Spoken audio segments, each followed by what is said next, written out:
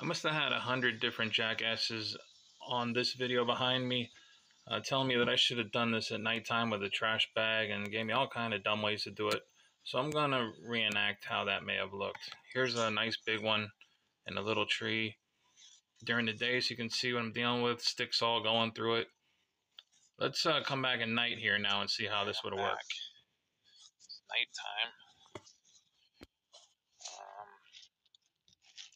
can't see what I'm doing. Can't shine a light on them because they'll come out. Um, got my, got my, got my bag here. Um, but how am I supposed to put the bag, bag on here? Those branches, shit, they're coming out. Fucking bag. Oh, great content. Thanks. Thanks for the suggestion.